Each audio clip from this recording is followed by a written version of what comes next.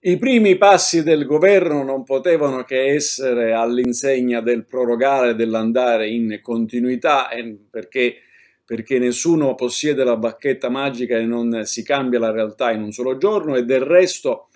la prova cui il governo Draghi è atteso è relativa alla strutturazione del programma e all'efficacia di utilizzo dei fondi Next Generation. Quella è la grande prova, il resto insomma nessuno ha la bacchetta magica, eh, accanto a quella c'è la campagna vaccinale che come disse il Presidente del Consiglio nel corso del suo discorso programmatico deve vedere la collaborazione delle strutture pubbliche e private eh, e quindi anche questo lo stiamo aspettando e arriverà.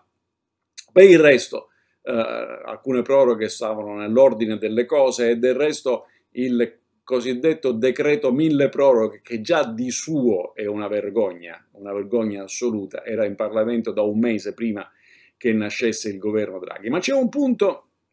su cui quel decreto mille proroghe segna una cosa sgradevole anche per il nuovo esecutivo, per la maggioranza che lo compone e per il Parlamento tutto, per le forze politiche ed è relativo a un emendamento al decreto mille proroghe presentato dal gruppo parlamentare di Fratelli d'Italia. Eh, tale, tale emendamento chiedeva la sospensione dell'efficacia della cancellazione della prescrizione.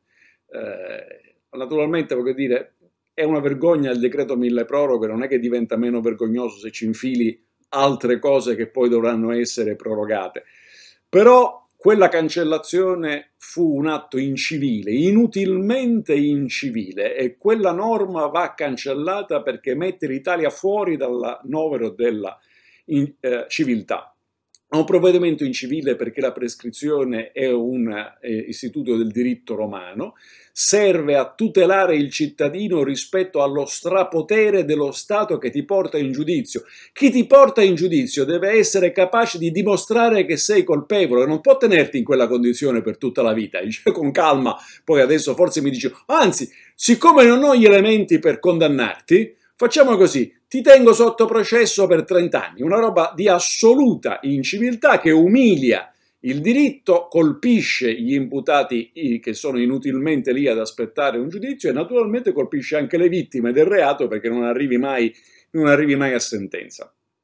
Questa è l'inciviltà. La sua totale inutilità è per giunta data dal fatto che la maggior parte dei procedimenti che vanno in prescrizione ci vanno prima di arrivare al primo grado e quindi vanno comunque in prescrizione perché la nuova norma pessima prevede che la prescrizione si interrompe con la sentenza di primo grado, il che aggiunge una illogicità totale, per cui tu vieni chiamato in giudizio, lo Stato tramite la Procura della Repubblica ti accusa di avere commesso un reato, vai davanti a dei giudici, i giudici di primo grado ti dicono no, quest'uomo è no, questa donna è innocente, non ha commesso il fatto o il fatto non costituisce reato, e c'è che bello, finalmente mi hanno assolto, no,